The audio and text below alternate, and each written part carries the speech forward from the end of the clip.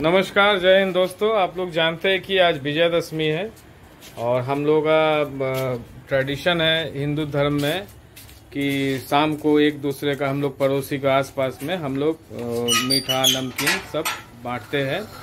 लेकिन गूफी स्नूफी को देखिए इन लोग भी चाह रहा है कि मम्मी के साथ जाएगा बाहर और बांटेगा।